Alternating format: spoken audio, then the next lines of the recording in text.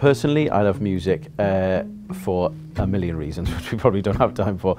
Um, my favourite thing about music uh, in school is being able to have an idea and hear it in your mind, and then when it comes out and you've got 30 or 40 children kind of actually putting your idea into practice, that's an incredible thing to be a part of. And uh, the music program at BISB covers a variety of different things. We look at everything from reggae music to Chinese music to film music, so the children have a, a broad variety of things that they cover uh, and study during their time here. Music learning covers so many different things. It's not just someone who can play an instrument and that's pretty much all they're good at. The knock-on effect of things is incredible. So the ability to be able to stand up in front of a group of peers uh, is really important and the mu music I think gives you a confidence to be able to do that. Um, obviously you learn a variety of different things and a lot of time there's a crossover between instruments you can play. So if you can pick up a guitar you can probably pick up a ukulele or a banjo or something else that goes you know kind of in that.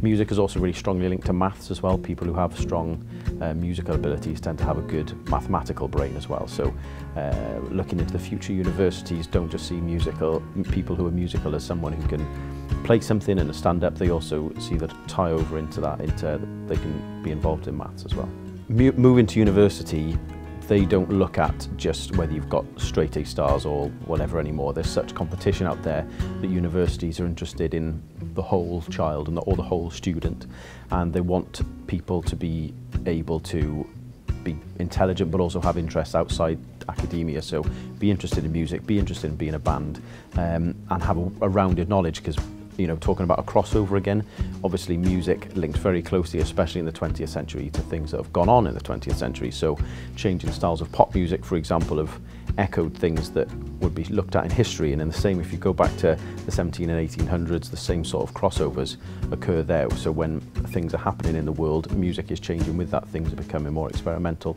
So there's a lot of tie-in between those different things.